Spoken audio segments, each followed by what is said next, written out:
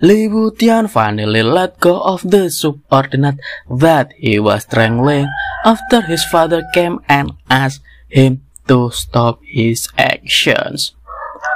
Memen Awi here and welcome back to Awi Manhwa channel guys. In this video, Memen will present things to you I Can Critical Hit Infinitely chapter 22.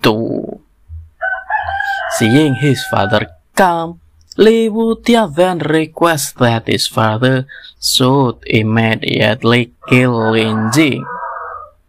This made Li Changxi unable to think. Just Lin Jing was able to make his sons lose his minds. How could he achieve great things later? But Li Wutan still couldn't pull himself back. He was anxious because now Lin Jing was able to kill a golden core stage cultivator.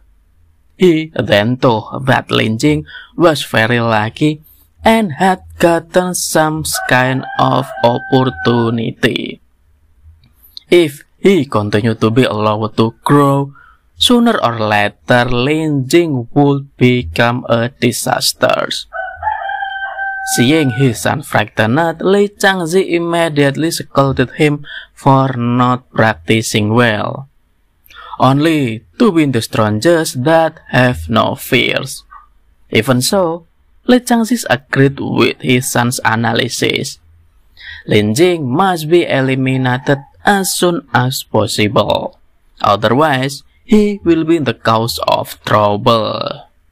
Li Changxi then asked the subordinate who was previously strangled by Li Wutian to go and find out what Lin Jing is currently doing.